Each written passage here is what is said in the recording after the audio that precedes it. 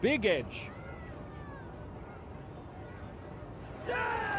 Well, Mike, the batsman goes back to the pavilion knowing it took an amazing catch to get them out.